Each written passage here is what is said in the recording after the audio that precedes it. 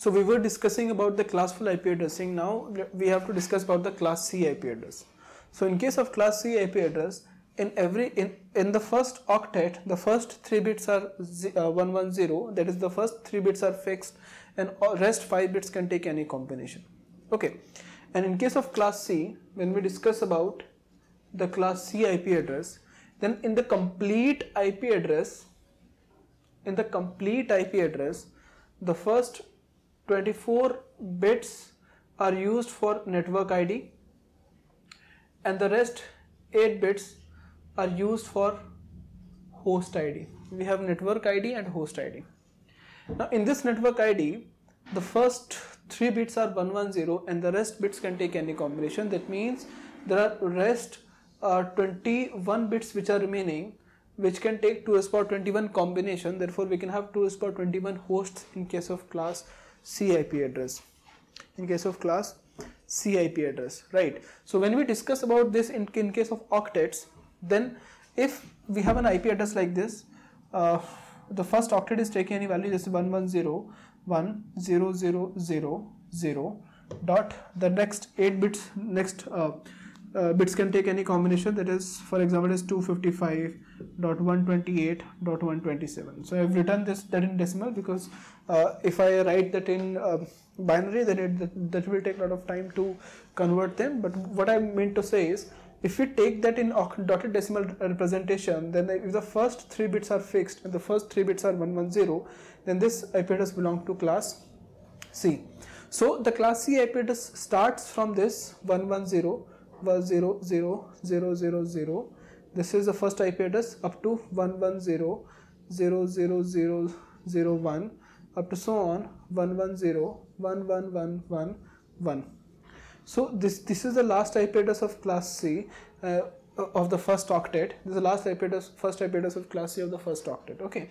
So basically we can take so many different combinations but just just I want to say is if if if the IP address is from 192 this value is 192 to this value which is representing 221 then that IP address belongs to class C. I think it is 221 right? So let me check it. And this is representing 32 so right.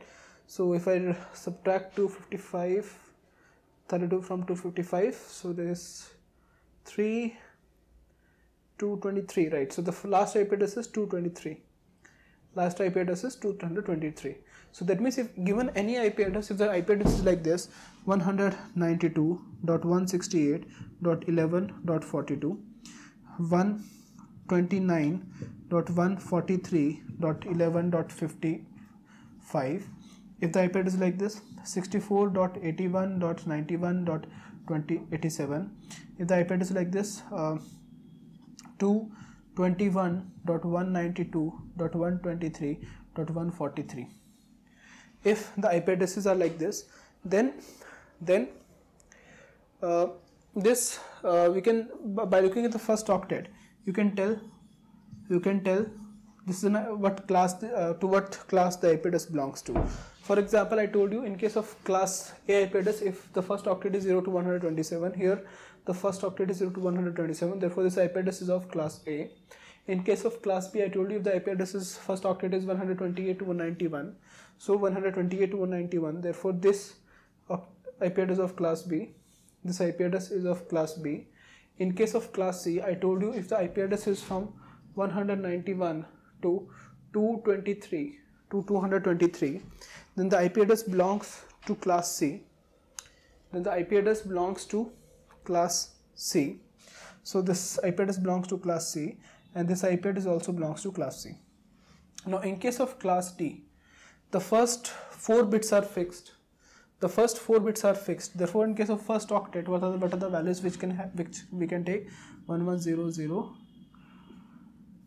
0 0 0 the first octet the max uh, minimum value first octet maximum value can be 1110 1111 okay and this is representing uh, this is 128 plus 64 plus 32 right? So this is 192 plus 32 which is 224 and this is representing uh, this is um, mm, this one is representing 615 so this is 239 if the range is from 224 to 239 that is a class D IP address if the range is from 240 to 255 then it is a class E IP address right? In case of class D and class B E there is no partition between the host ID and the network ID so host ID and network ID both are considered as same in case of class D and class E so uh, by looking just by looking at any IP address you can tell that IP address belongs to class A or class B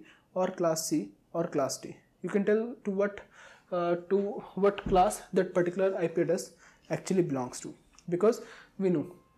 Now there are uh, you need to know how many hosts can be present in any class and uh, what are the IP addresses which are actually reserved for uh, uh, for uh, you know for any any particular network. Okay that we'll be seeing in the next video. Fine